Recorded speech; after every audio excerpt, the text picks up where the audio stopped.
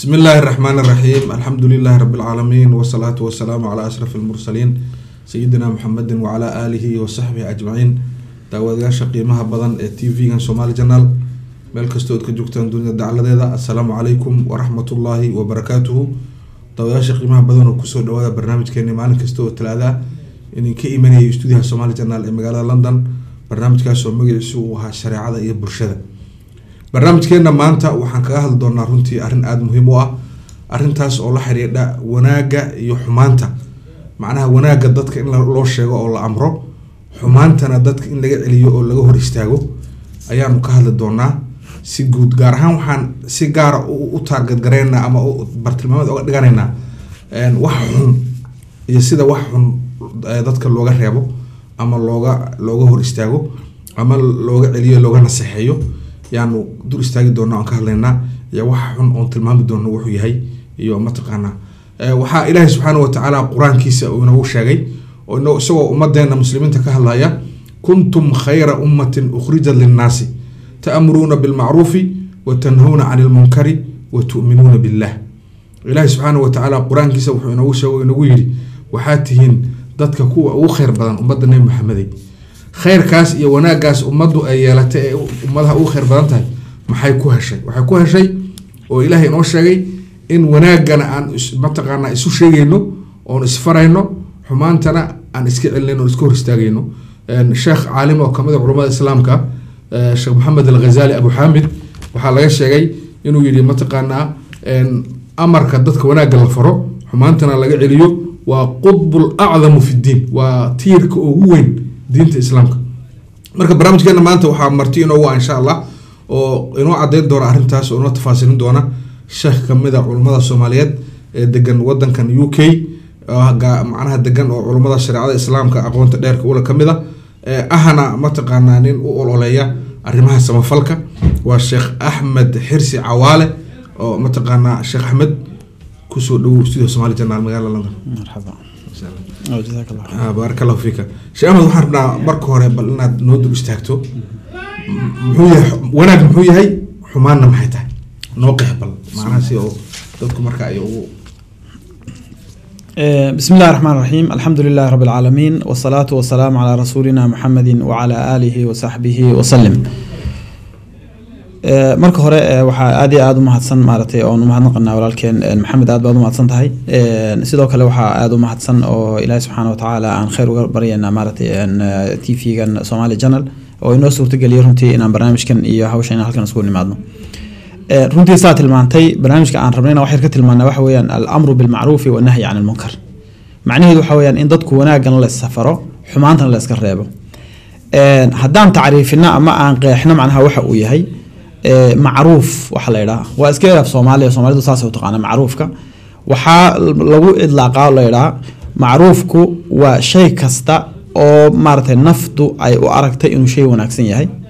Ama waxaa la yidhahdaa waa shay kasta oo loo gartay maarata inuu wax maarata wanaagsan inuu yahay dhinaca maaratay sharciga iyo caqligaba wax walbo wanaaga maaratay oo maarata saa isku raacay waxaa ka soo horjeeda maaratay shayga kale oo munkarka ah isagana la yidhaha waa wax kasta oo la gartay inuu wax xun yahay sharcan wa caqlan. Haddaynu macnaha sharcan iyo caqlan labadaba aan sheegno waxaa ka mid a matalan mithaal ahaan si loo loo fahmo runtu waa wax wanaagsan inuu qofka biniadamka inuu run sheego. Xadiis iyo maaragtay qur'aan iyo xadiisna waa ku soo aroortay inay dadka muminiinta inay run sheegaan caqlanna waad garan kartaa. Qof kasta oo bini aadana gaal iyo muslim waxa uu caqligiisa ku garanayaa runta iyo ammaanada iyo maaragtay daacadnimadu inay wax wanaagsan tahay. Cagsigeeda oo maaragtay beenta iyo khiyaanada iyo iyaguna wax caqlan lagu garanaya inay waxxun yihiin. Marka waxaan dhihi karnaa maaratay macruuf waxaa la idhaha waa wax kasta oo wanaagsan oo ay nafta bini aadamkuna ku degto islaamkuna aynu amray. Xumaantuna waa wax kasta oo xun sharciguna uu diiday caqliguna uu diiday ayaa la idhaha munkar marka waxaan rabnaa sheekh axmed maadaama oo aan maanta aan rabna si gaar inaan u dul istaagno xumaanta ama munkarka maxaad is oran kartaa yani adoo soo koobaya ummadeena soomaaliyeed? Munkarku wuu qeybo badan yahay.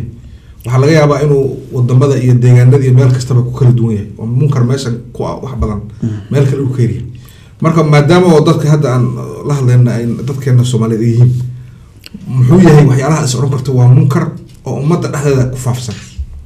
Kamid een, horta intaan intaa u gelin runtii waxaan rabaa inaan wax muqadimo yar aan ka horreysiiyo oo ah ilaahi subxaana wa tacaala aayadda qur'aanka aad ku sheegtay eh, muqadimada waxa uu inoogu yeedhayaa in wuxuu inoo sheegay inay tahay ummadda islaamka ummad khayr badan. Kuntum khayra ummatin ukhrijat linnaas.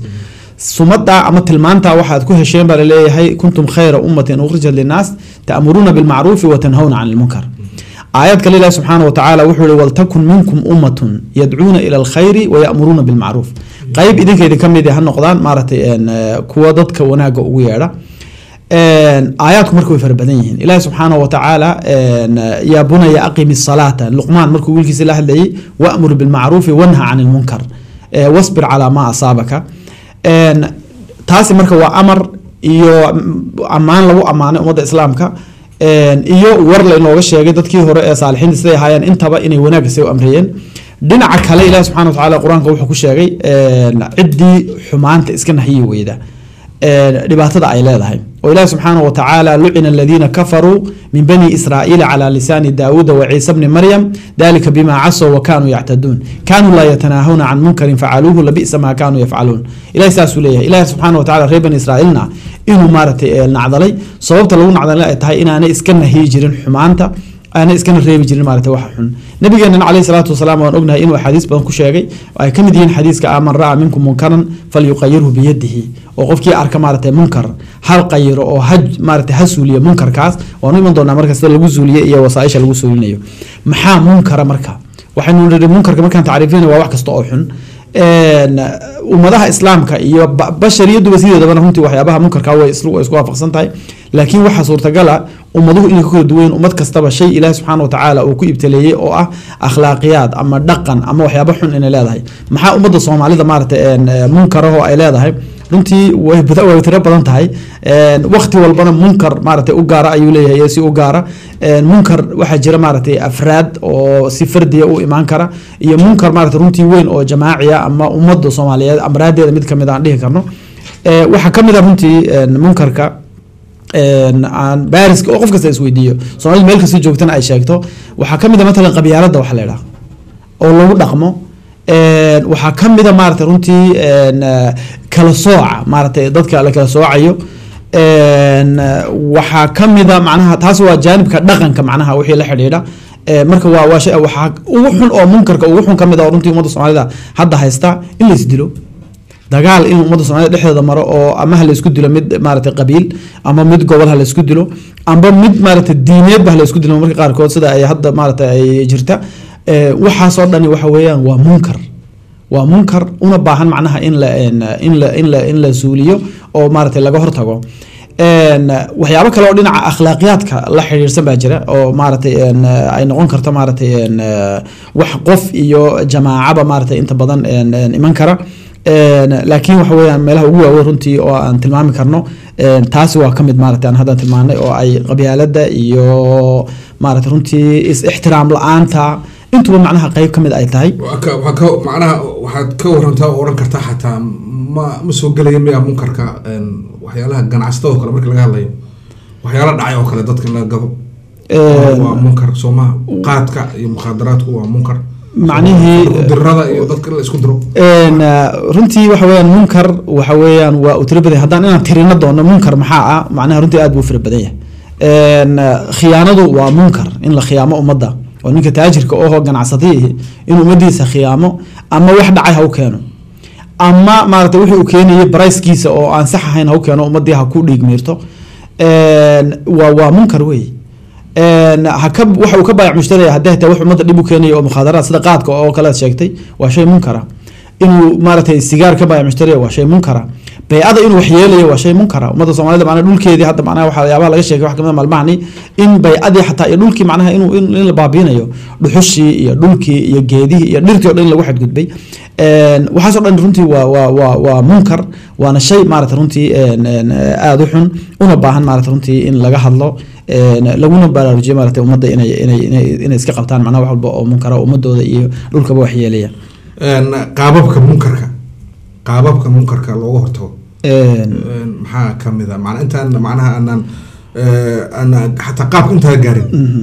muxuu yahay xukunka munkarka qofku? Hadduu munkarka xukunkiisa meel inta la arko laga sexdaa xukunkiisa muxuu yahay qofkii munkar intuu arko? Runtii macnaha ilaahi subxaana watacaala qur'aanka siduu inoogu sheegay waa ku inoo ina leeyahay maaratay markaad maaratay inaad khayrkana is amartaan wanaagana inaad khayrkana is amartaan xumaantana aad iska reebtaan marka asalka in munkarka la iska zuuliyo oo munkarka suuliyo waa shay waajiba weyaan waa faral. Uma culimadu macnaha saas yidhahdeen faralkaasuma wax laga sii hadlaa ma fardu kifaaya ma fardu cayn ba siduu doona ha noqdo. Laakiin waa faral waa waajib weeyaan in munkar la suuliyo qofku markuu arko. Okay.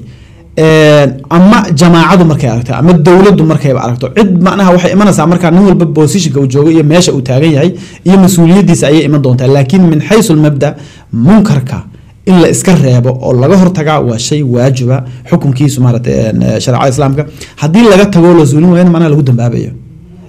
Oo ah tan ilaahi subxaana watacaala waxaa kutusan reer bani israiil tan hadda sheeganay oo ah kaanuu laa yatanaahawna can munkarin facaluuhu macnaha inay ahayd oo ah maaragtay inay lacnad ku muteen maadaama ay iska reebi waayeen maaragtay xumaantii iyo eh, wanaag inay is amri waayeen.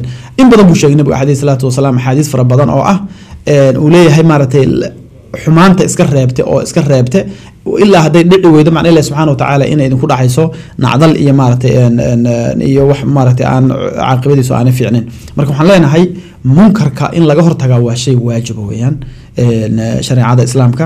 Axaadiista iyo qur'aanka iyo waaqica camaliga ee nabiga caleyhi salaatu wasalaam iyo asxaabtiisuba ay shee maaragtay laga soo arkay ay ka mid tahay. Qaabkee looga hortegi marka? Qaababka? qaababka looga hortegaya runtii waa laba wax midda koobaad sidii looga hortegayaa waxay ku fiican tahay runtii horta inay xigmada inay tahay. Ay munkar munkarkuna isku wada mid maaha dabcan. Ah, isku wada miisaan maaha isku wada wakti maaha. Laakiin shayga ugu wanaagsan ee looga hortegayaa waa horta waa xikmad inuu ku jiro. Alxikma. Oo ilaahi subxaana wa tacaala udcu ilaa sabiili rabbika bilxikmati walmawcidati alxasana xikmad maxaa la dhaha xikmad waxa weeyaan waa in la dhigo shayga meeshii si ku munaasiba. Marka munkar markii uu dhaco waa in laga hortago sidee looga hortagaya waa in looga hortago si munaasib ku ah. Waa inuu ka hortago cidda munaasibka ku yahay waa inuu maaragtay ka hortago waqtiga munaasibka ah. Taasaa macnaha ta ugu koobaad waa xigmadda weeye Een, qur'aanku waxaa kaloo sheegay mawcidat alxasana mawcidatu xasana iyaduna kama foga xigmadda laakiin waxa weeyaan waa waano in la waaniyo qofkan.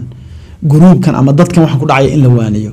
In loo sheego waxaan ay ku dhacayaan inay tahay wax maaragtay aan fiicnayn in adiladeedii iyo fiqhigeedii iyo fahankeedii ee, loo keeno waa mid ka mid a marka waxa weeyaan taas waa midda koowaad ee ugu wanaagsan maarata runtii in looga hortago munkar markii la arko.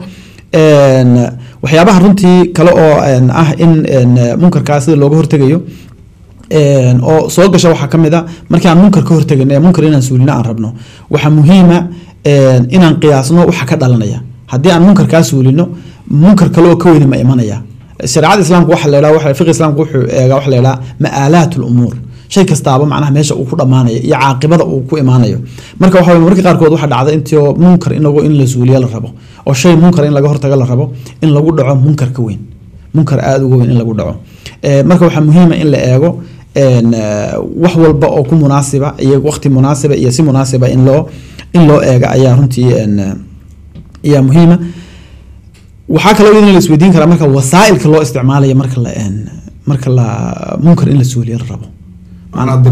Dariiqada loo marayo dariiqada waa inaga sheegno mid waa kelimo in maaragtay kelimada la sheego. Kelimada si meelo badan baa lagu sheegi karaa. Masaajidka yaa la- yaa laga sheegi karaa. Een, suuqa ayaa laga sheegi karaa. Si fardi ayaa qofka loogu sheegi karaa. Si jamaaco ayaa dadka munkarka ku dhacay intoo loola hadlo oo meel loogu yimaado ayaa loo sheegi karaa waxaa la isticmaali karaa wasaa'ilka xadiiska ee hadda jira oo t v-ga hadda aan fadhina uu ka mid yahay. Waxaa loo isticmaali karaa eh, jaraa'idka in lagu soo qoro oo maaragtay loo dadka loogu sheego. Ee, waxaa loo isticmaali karaa qaab kale oo maaragtay runtii ururo ah macnaha in loo loo adeegsado oo lagaga hortago. Marka runtii wasaa'ilka lagaga hortagayaana macnaha way way way badan yihiin.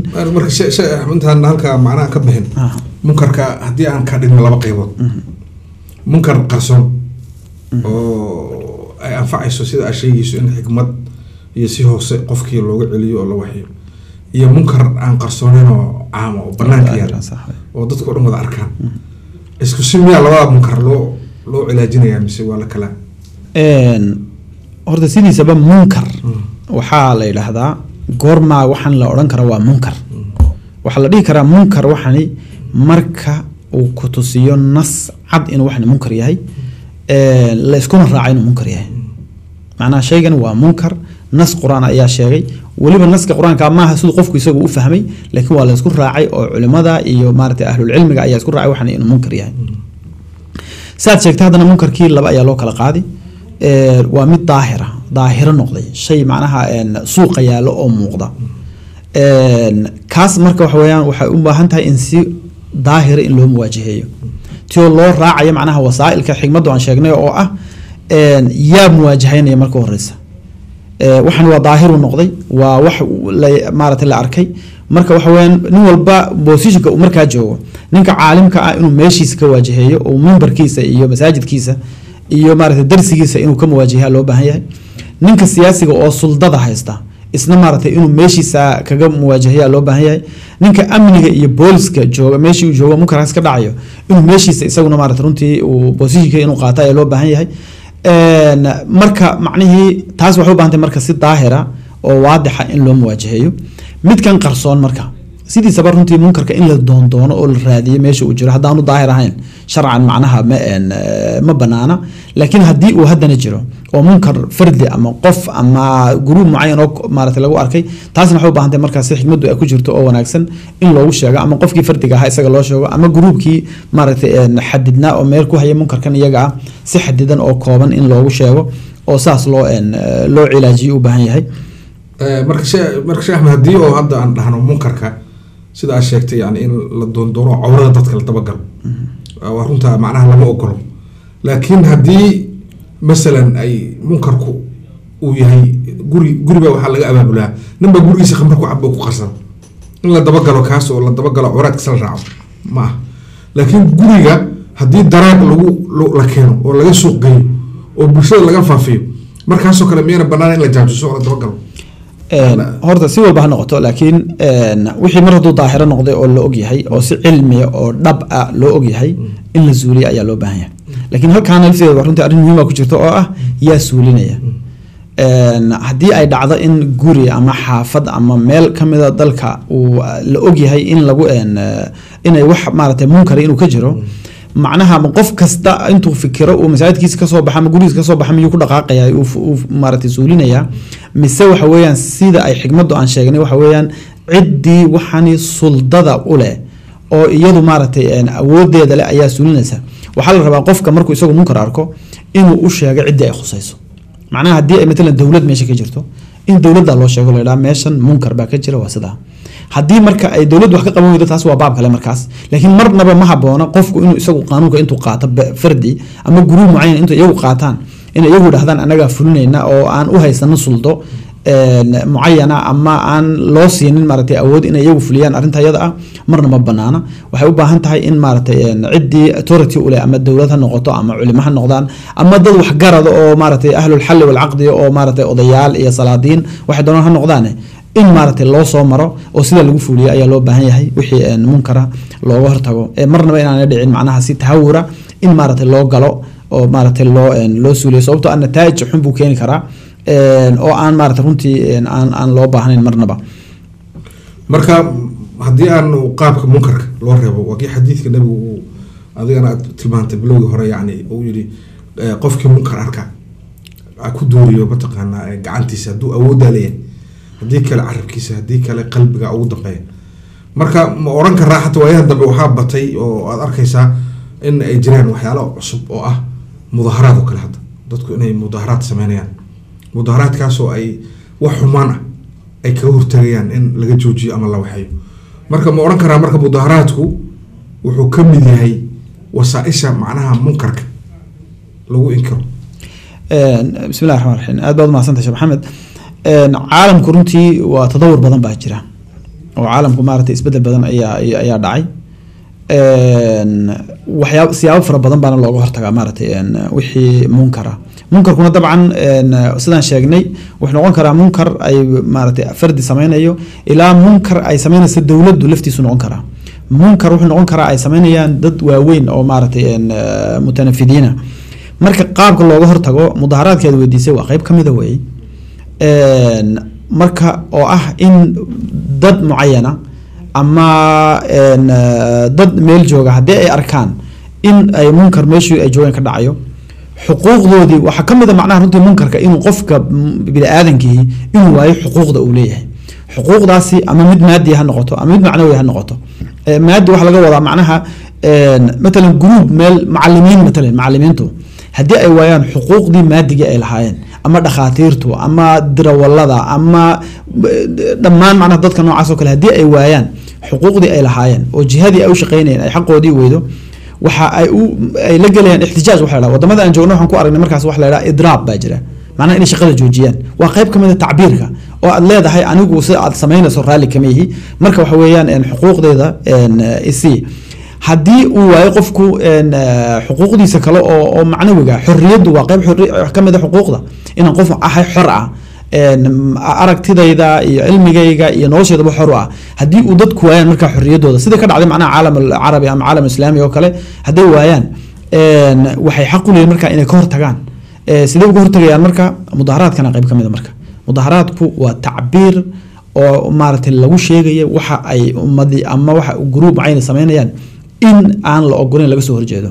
Marka runtii mithaal fiican baad keentay caalamka hadda aan ku noolnahay munkar weyn baa ka dhacay caalam alislaami siiba munkarkaas oo intiisa badan ahaa siyaasi.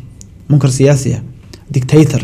Dadkii oo dhan maaragtay isagu eh, meel ku xaraystay Eh, isla markaana aanu ogoleyn xuquuq. Mid maadi iyo mid macnawi midnaba muddo badanna soo haystay. Afartan sano iyo konton sano boqolkii sano u dambeysay ka soo dhacayay. Laakiin dadka munkarka diidanaana macnaha intaa way soo socdeen iyaguna way wadeen. Oo hawl badan baa socotay ugu dambeyntii waan ogeyn maaragtay sanadii u dambeysay haddaan soo dhaafnay intii dhace waxay dhacay oo ah mudaharaad macnaha in lagu qaaday macnaha andimo oo dictator oo aada waaweyn isla markaana een, la iska bedelay munkarkii. Munkar ka xun ma jirta markaa dad waxyaabahan maaragtay een, dhacayay iyo andimada siyaasiga ah.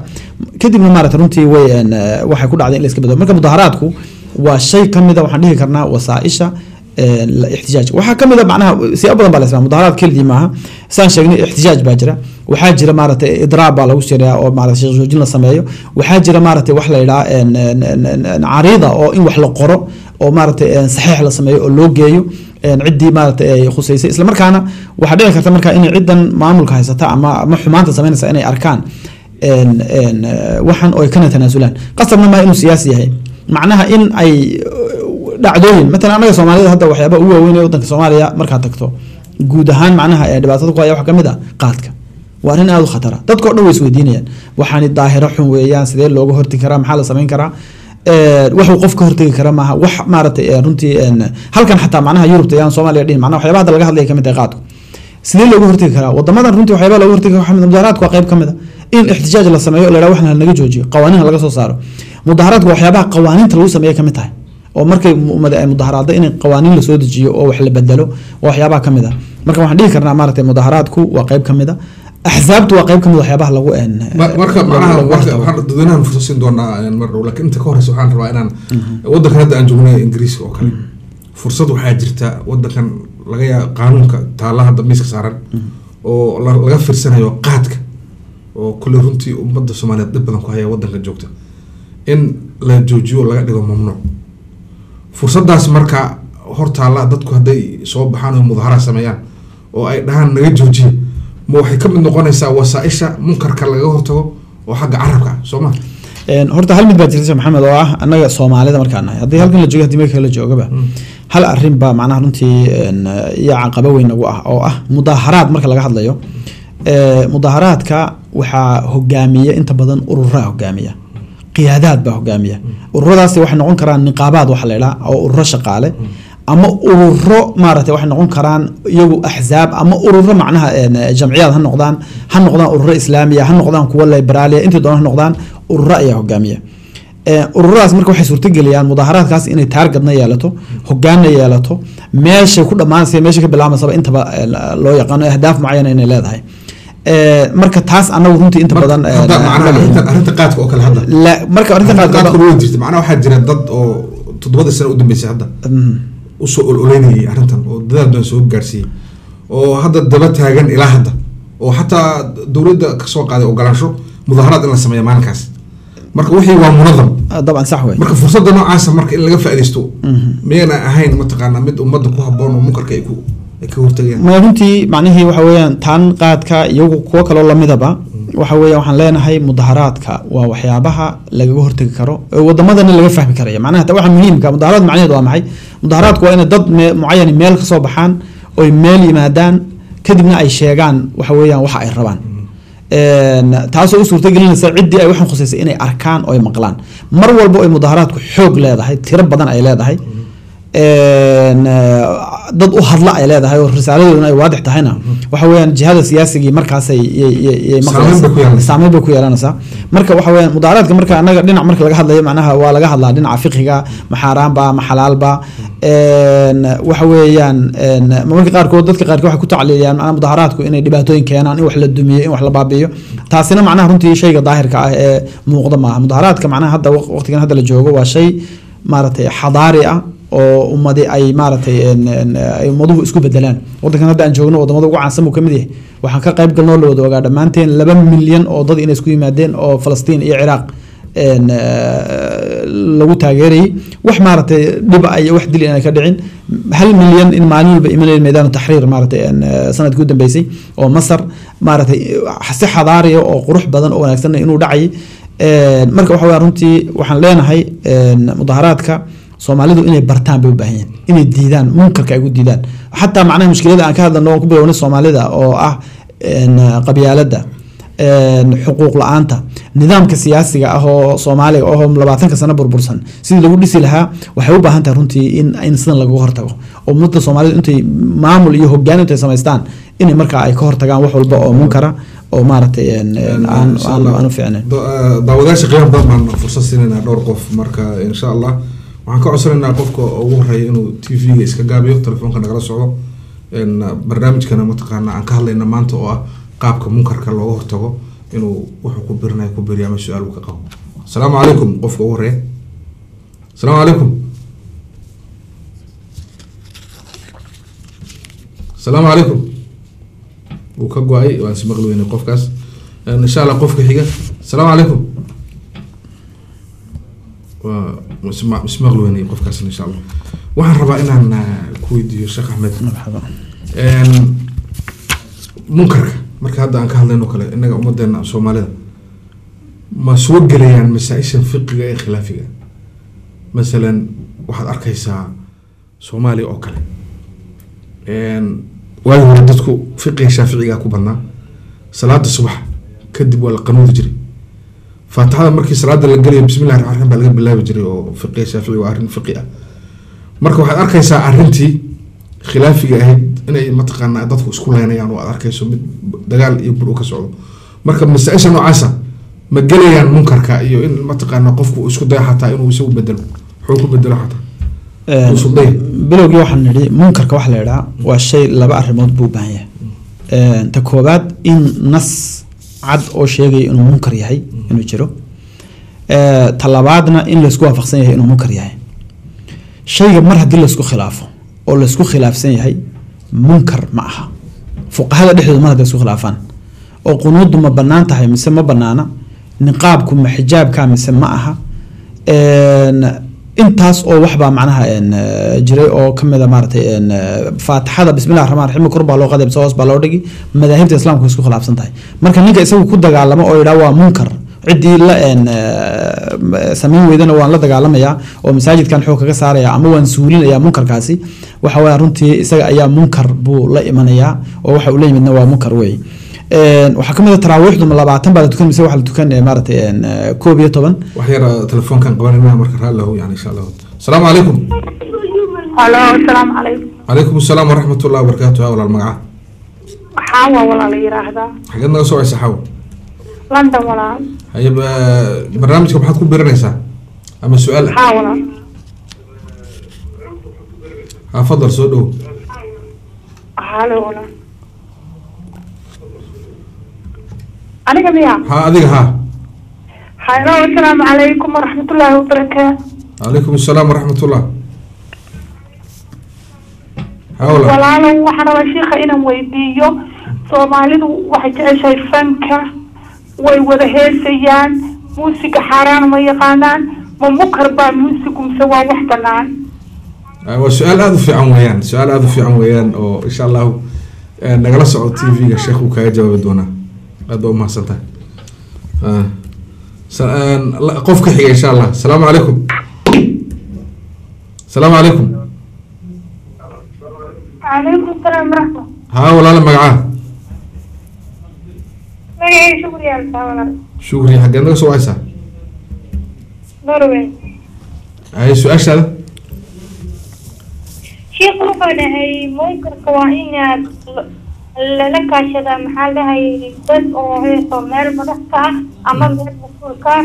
Waxaa laga yaabaa dad meel madax ka ah ama mas'uul ka ah markaas inaan la joogin munkar cadna oo waxay gurigayga kala saa ka dhacaya ama laba qofood oo maxaa dhahay xaaraan isku ay munkar isku sameynayaan ama ay fankii oo kaleeta dhegeysanayaan munkarkaas oo kaleeta aniga in aan ku reebo ma banaana su'aasha kaleeton qabo waxay tahay maxaa dhahaye waalidkii oo kaleeta waxay dhaheen maxaa dhahaye ma guursan kartid in aan guursado haddii qaris aan ma ku caasiyo wax soo faramaysahay hadda inaan guursado caadi ay jirtaa qofka qof aan guursanaan kartaa qof islaam eh marka macnaha wa- waalidku macnaha guurka may ku diideen mise qofkaad wadatay ku diideen yani tusaale ahaan tusaale ahaan waxay dhahayeen calshaan aniga ma rabno qofkaas aa guursanaysid waa reer hebel oo kaleeta ciddaas inaan guursasid ma ogolin anigana cidda ee ay kasiinayaan oo kaleeta qofkaas oo kaleeta inaan guursadaan rabaa. Taas dembi ma igu taha ama wax munkar ah maan sameeyey okay insha tan allah oo kaleeta weydiin waxay tahay munkar oo kaleeta cad oo kala dhacayo gurigay ka dhaca ama meel kale ka dhaca arka gacanteed ma ku reebi kari miya. Aad baa umahadsan tahay walaal aad baa mashukri waa su'aashaada waa fahnay sheekuna uu kaaga jawaabi doonaa nagala soco mataqaana insha allah t v qofka ugu dambeeya hal qof baan fursasinayna marka insha allah asalaamu calaykum calaykum salaam raxmatullahi barakaatu haa walaal magaca waa maxamed cabdilaan xaggeed naga soo wacaysaa waa hargeysa haye su'aashaada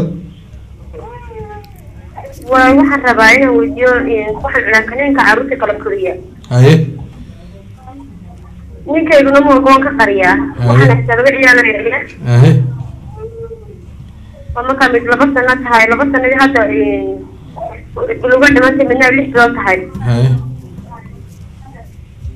deetana waan ka bal inay dembi tahay sida ay dembi tahay iyo in kale doonaya inay inay munkar tahay in- inay munkar tahay iyo in kale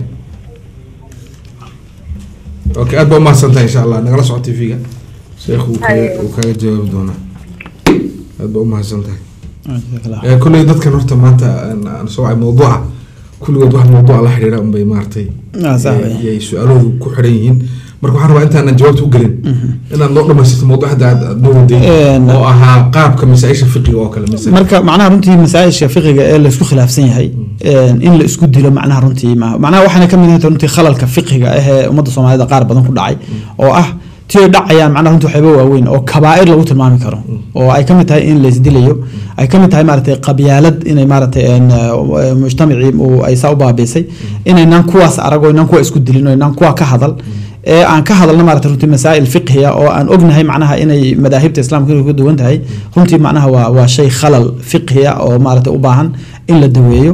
Marka runtii mas'alo kasta oo fiqhi oo la isku khilaafsan yahay waa laga niqaashi karaa runtii oo la isweydiin karaa midkee adilada u dhow siday tahay qof la adiladiisa way keeni karaa.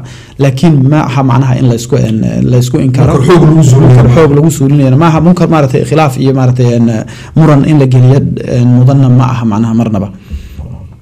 Marka haddaan u soo laabano macnaha gabadhii oo xaawo oo lana joogtay macnaha arrintii muusiga. Aha. munkar miyaa muusiga horta soomaalida lagu ibtileeyo haddii la yidhaha xaflad baa la qabanaya.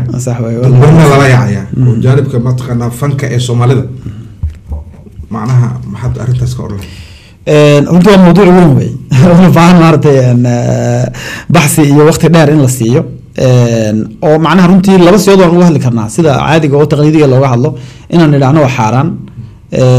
Oo ma banaana macnihii muusigu iyo heesuhu iyo gebi gebi. Een, laakiin runtii sida ay ah, xaqiiqadu tahay oo fiqhigan iyo fuqahada islaamkuna ay qabaan sida imaam alghazali maaragtay oo kale maaragtay uu uu sheegaya abu xamed alghazali. Waxa weeyaan laba mad baan u kala qaadanaa. Wax waa fanka waxa la yidhaha. Fanka macnihiisu waa heesta iyo gabayga iyo geeraarka iyo buraanburka fan waa kaa. Waxaa kaloo isagana fanka uun soo raaci karo oo ka mid a isna waa muusiga wey. Waxaa kaloo isagana mar saddexaada qeybta loo loo loo adaaga loo sameynayo sida loo gudanayo maanta dabcan waan ku waafaqsanay gabadha dadka soomaalida tviyada maalintii habeenkii dhawada ciidii markaad fiirinayso. Dhammaan macnaha waa wiil iyo gabadh baa taagan wada heesaya aada decoration maaragtay aada u sareeya maaragtay cajiiba loo sameeyey maaragtay eh, gabadha sida u labisan tahay iyo qaabka loo labisan yahay iyo waxa la garaacayo sida loo joogo iyo actionka la sameynayo intuba runtii in aan wax aan sax ahayn ay ay tahay macnaha sida ay tahay. Marka markuu saas yahay waxaan leenahay runtii wax banaan ma aha. Qaabkaa marka loo soo bandhigayo. Laakiin waxa weeyaan fanku min xaysu asl waxa weeyaan wuu banaan yahay gabayga iyo heesta iyo hadalka wanaagsan. Intuba macnaha inay dadku ay isku yimaadaan waa shay banaan laakiin qaabkan inaga soomaalida hadda ah qaabka sidiisaba macnaha fanka soomaalida u taqaano waa waa xaaraan jaanibka xaaraanta iyuu yahay saas iyo- khamro marka ragga runtii fanka ah eh, fanku macnaha waa fanku waxa weeya waa shaygaas macnaha eh, Waa wasiilo. adabka ah oo maaragtay wanaag iyo xumaan buu yeelan karaa. Haddaan gabyo macnaha waxa weeyaan xumaanna waan ku gabyi karaa wanaag fiicanna waan ku gabyi karaa haddii aan hees alifan heestuna dabcan waxay noqon kartaa hees wanaagsan oo aada u wanaagsan oo wanaag iyo wadaninimo iyo diin iyo dadnimo. Intaba ka hadlaysa waxay noqon kartaana shay kale oo munkara oo xumaan iyo qabyaalad iyo maaragtay dhibaato kale sheegaysa.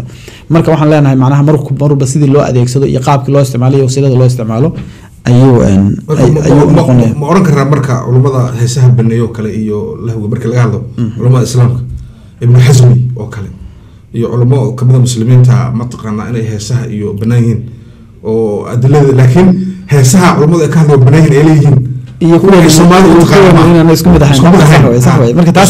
waxeedu waa mataqaanaa munkar wey dabcan saasay u tahay macnaha Marka- inteeda badan marka- laakiin fuqaha badan oo saad sheegtay ibn xasb baa ka mid a imaam alghazali baa ka mid a imaam alqardaawi baa ka mid a. Macnihii buxuus badan baa jirta oo ah macnaha fanka waxa la iyo nooca uu yahay marka in loo noqdo u baahan iyagu tahay. hadaan aad- laakiin soo maaha macnaha waxan waa wax la adeegsanayo haddii wanaag loo adeegsado oo ereyo fiican iyo qaab akhlaaqdi loo adeegsadana waa wanaag. haddii xumaan loo adeegsadana waa waa waa laakiin soomaalida xumaan bay u adeegsadaan. Sax wey xumaanta u adeegsadaan. Fanka soomaalida in la bedelo u baahan madmuunkiisa. Marka een, su'aashii gabadhii labaad waxay laba su'aalood bayna weydiisay mid waxay munkarka. Haddaan gurigeeda joogo oo aan awoodi karo oo nin oday oo qof oday una joogin. Munkarka ma bedeli kara miya waxaa tiri dad waaweyn ha loo celiyo taas waa qeybta koowaad ee su'aasha. Qeybta labaadna waxaa tiri haddaan rabo inaan nin guursado. Ninkan uu yahay nin aan guursan karo oo akhlaaqdiisi iyo wixiisi ay laakiin reerkay wa ii diidaan oo dhahan ree hebel ma guursan karaa munkar miyaa inaan khilaafo waalidka un guursan. Midda hore macnaha runtii oo ah munkarka. Waxaan nidhi dabcan munkarku wuxuu leeyahay isaga laftiisu macnaha waa maraaxil buu leeyahay aniga qofka suldadiisa wax ku jiraa jira. Qofku matalan aniga gurigayga iyo muxiidkayga iyo ciddii aanu ii dhoween anu aan, maamulkeeda hayo anaa mas'uul ka ah. Isla markaana munkarkii dhacaya waa inaan suuliyo. Haddaan taa ka sii gudbo waxaa dhici karta cidka meel kale oo munkarkaas maaragtay een, suulintiisu. Munkarku dabcan suulintiisu macnaheedu maaha in markaaba gacan loola tago. Waxaan nidhi maaragtay waa hadal baa ka horreeya fabilisaanihi gacanta waa la sheegay. Man raa minkum falyuqayirhu Biyadihi. Eh, tartiibna macnaha muhiim maaha anugu meel aan gacan afka wax kaga suulin karo oona sheegi karo qasab maaha inaan gacanta ula tago. Marka waxa weeyaan qof walba wixii isaga awoodiisa ah ee uu suulin karo ma aha in cid kale ula sugo. Ta inagu aan ka hadlanaa waxa weeyaan runtii waa waxyaabaha waaweyn ee maaragtay runtii sida dhacda macnaha oo soomaaliyana marar badan ka dhacday siyaabo fara badan u dhacda inay dad iyagu ay intay qaataan shaygan ay xil gaara intay iska saaraan ay dhahdaan annaga unbaa munkarka suulin wax walba munkar u aragnana waan baabinaynaa waan xidhaynaa waan kalaan lebanana ugu dambeyntana radul ficli inuu ka yimaado. Laakiin waxa weyan qofku wixii isaga ku wareegsanaya uu qaban karo ama u dhow ama meeshiisa wuu suulinaya lana sugi maayo maaragtay meel kale. Midan kale macnaha runtii waa masalada macnaha runtii soomaalida inta badan soo noqnoqota oo ah inay gabadhuna nin doonayso reerkuna ay nin la doonayaan. Ugu dambeyntana hal wax un ay tahay waxa cilada loogu diidaya. Cilada loogu diidaya waxa weeyaan waa inuu ree inuu yahay. Ree inuu yahay waa intaa un macnaha inuu inuu caydhi yahay looguma diidayo. Inuu jaahil yahayna maaragtay maan maqal wax sheegaya. Diin la'aan wax sheegayana maalin maqal laakiin inta badan waxaa la sheegaa inuu ree hebel yahay. Marka waa musiiba runtii wax aada u weyn weeyaan hadda ka hor qiso macnaha runtii dhacday baan macnaha u joognay oo ah eh, hooyo soomaaliyeed oo inanteedii laga soo doonay oo nin soomaaliya oo sharaf leh oo soomaaliya uu ka soo doonay kadibna macnaha loo diiday. Ay reerkii kale u diideen. Marka hooyadu marka arrin cajiib ay sheegtay oo ah eh, hablaheeda qaar ka mid a in waxay sheegtay inay inay dad kala qabaan oo ajnabi ah oo ahaynba macnaha soomaaliba aan ahaynba. Marka macnaha waxa weeyaan marka waxa weeyaan kuwan yaa u agtiriyaa layidhi nimankan kale iyo dadkan kale lama suma weydiin laakiin ninka soomaaliga aabihii la yaqaan. Soomaalida cid aan is aqoonin ma jiro. Cid aan la aqoon oo qof soomaaliya oo aan aabihii iyo hooyadii iyo meeshu ka yimid aan la aqoonin ma ay jirto. Marka waxaan leenahay marka runtii ma oran kartaa adigoo hadda macnaha inta haddaan ku dhexgeliyay yani inkastoo waqti uu gabagaba yahay eh, qofka soomaaliga ah ee jareerka ah islaamnimadii u shafeeci weyday ee u diiday gabadheer yiri waa jareer gabadheer siin maayo. Ee u shafeecday jamaicaanka waa muslim wey la leeyahay nin muslimaa qaba.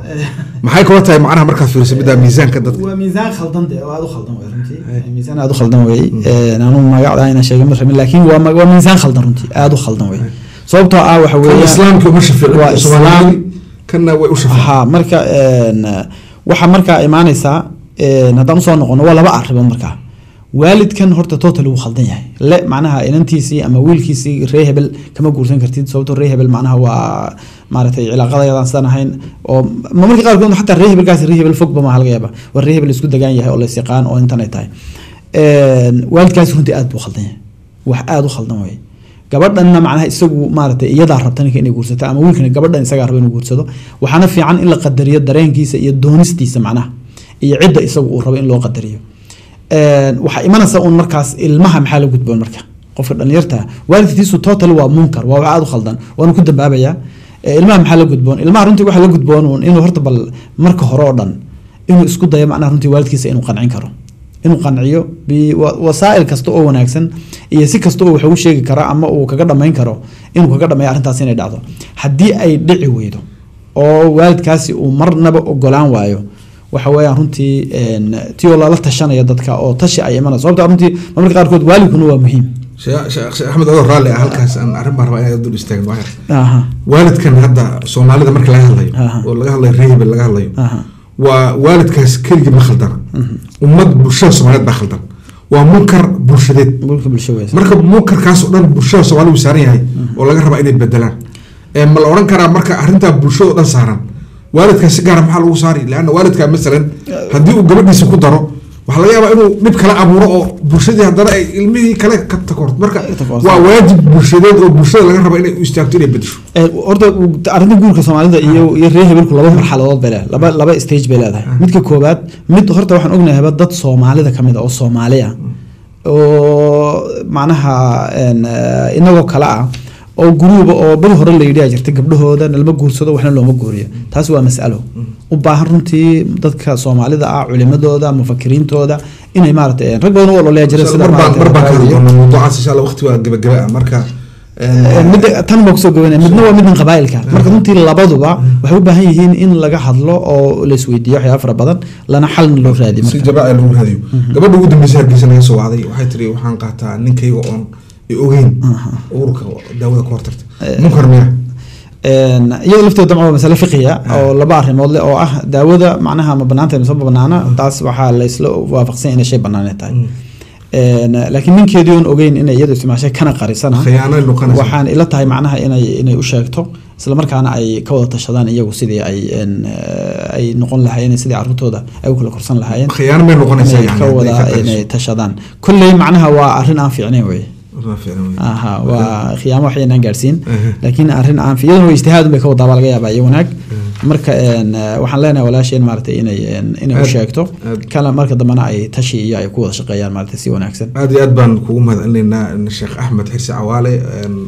Sida barnaamijka aad maanta nagu idaaxisay insha allah kolley waqti waqtigii baana qabtay. Marka wax badan ba u baahnaa in barnaamijka la sii wado. Waxaan mahad ballaaran u celin u celinaynaa dhammaan daawadayaasha qiimaha badan ee t v-gan somali journal kuwana soo wacay iyo kuwana daawanaya iyo kuwa ay u suurtageli weyda inayna soo gaarhaan ee isku day inayna soo wacaan. Waxaan mahad u celinaynaa oo kale farsamo yaqaanada barnaamijka saciid fadhaaye cabdulaahi yaafarne iyo dhammaan bahda somali journal. Intaan kaga kulmi doono barnaamijka mid lamida waa maxamed sheekh aadan idinle asalaamu calaykum waraxmatullaahi wabarakaatu